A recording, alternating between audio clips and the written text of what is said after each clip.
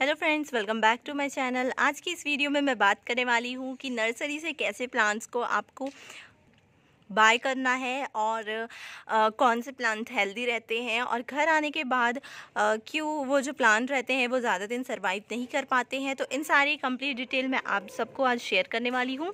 तो आज वीडियो के लास्ट तक ज़रूर बनी रहिएगा। और तो चलिए फ्रेंड्स हम वीडियो को फिर जल्दी से स्टार्ट करते हैं।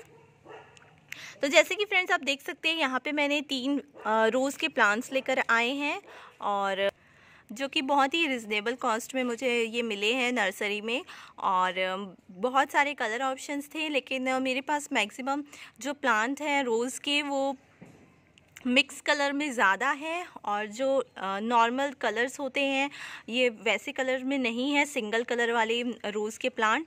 तो मैंने इस बार वाइट, येलो और रेड कलर का जो प्लांट है, उसे लिया है।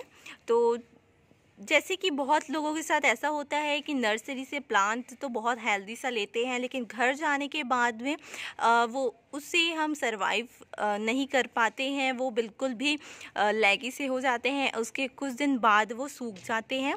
तो ऐसा मैक्सिमम लोगों के साथ होता है और मेरे साथ भी ये बहुत बार हुआ है। तो उसका रीज़न ये है फ्रेंड्स कि नर्सरी में बहुत अच्छे से वहाँ रखाया रहता है। एक साथ सारे प्लांट्स के साथ में रहते हैं ग्रीन नेट में रहते हैं तो उनको कोई भी प्रॉब्लम नहीं होता है। और घर लाते हैं तो हम उसे जैसे ये पॉलीथीन्स है तो ये पॉलीथीन्स को हम अगर पूरा डिस्टर्ब कर देते हैं और उसके रूट बॉल को डिस्टर्ब कर देते हैं तो जो हमारा प्लांट है, वो बहुत लैगी सा हो जाता है, ख़राब होने लग जाता है, क्योंकि उसे घर लाने के बाद एक न्यू टेम्परेचर मिलता है न्यू न्यू प्लेस मिलता है तो जिसके बाद से अनकंफर्टेबल होने से उसके जो प्लांट है, उसके जो सरवाइव होने के चांसेस है, वो सारे ख़राब हो जाते हैं धीरे धीरे डल होने लग जाते हैं और जो प्लांट है, इसलिए ज़्यादा दिन तक हमारे गार्डन में नहीं टिक पाते हैं और उसमें उस तरीके से फ्लावरिंग भी नहीं बनते हैं। तो आपको मेनली क्या करना है, अगर आप इसे रीपॉटिंग करना चाहते हैं तो रीपॉटिंग करने के लिए जो आप इसके पॉलिथिन होते हैं, इसे पहले आप नर्सरी से लाने के बाद जैसे कि मैंने इसे दो दिन पहले नर्सरी से लेकर आई हूँ और दो दिन पहले नर्सरी से लाने के बाद मैंने इसे क्या किया है अपने गार्डन में ही छोड़ दिया है। आ, सारे प्लांट्स के बीच में यहाँ पर ये रहेंगे फिर इन इन्हें थोड़ा सा आदत हो जाएगा। तो उसके बाद मैं दो से तीन दिनों के बाद मैं इसे ट्रांसफ़र करूँगी क्योंकि ठंडियाँ हैं ठंडी के साथ में धूप का भी तेज़ बहुत ज़्यादा रहता है और इस वक्त पे अगर आप रीपॉटिंग कर देते हैं विथ रूट बॉल को डिस्टर्ब करके तो प्लांट का बिल्कुल सर्वाइव करना मुश्किल हो जाता है।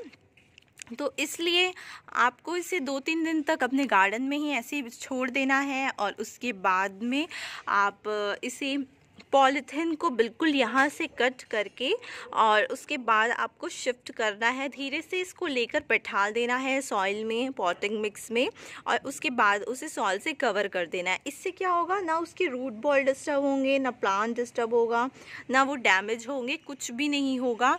तो इससे हमारा प्लांट सर्वाइव करेगा और उसे कोई भी प्रॉब्लम नहीं होगी। तो ये सब जो छोटी छोटी गलतियाँ हम कर देते हैं तो जिसकी वजह से हमारे प्लान जो है वो डैमेज हो जाते हैं और घर लाने के बाद लैगी होकर सीधे ख़राब होने लग जाते हैं और उसमें कलियाँ भी नहीं बनती हैं। और कलियाँ नहीं बनने का कारण ये है फ्रेंड्स कि वहाँ पर नर्सरी में काफ़ी सारे केमिकल फर्टिलाइज़र का यूज़ होता है और घर लाने के बाद हम उसमें ज़्यादा फर्टिलाइज़र ऐड नहीं करते हैं। मेनली हम नॉर्मली जो घर के जो फर्टिलाइज़र होते हैं या कभी कभी फर्टिलाइज़र का भी यूज़ नहीं करते हैं, जिसकी वजह से इसमें फ्लावरिंग नहीं होती है। फर्टिलाइज़र कोई सा भी हो फ्रेंड्स लेकिन रोज़ में फर्टिलाइज़र ऐड करना बहुत ज़रूरी है। और जैसे एक्शल कैल्शियम प्रोवाइड करते हैं तो उसे भी देना बहुत ज़्यादा मस्ट है। और टी कम्पोस्ट नाइट्रोजन प्रोवाइड करते हैं, उसे भी देना रोज़ के लिए बहुत ही ज़्यादा ज़रूरी है। और बनाना पील फर्टिलाइज़र है। ये भी नाइट्रोजन और कैल्शियम दोनों का काम करता है।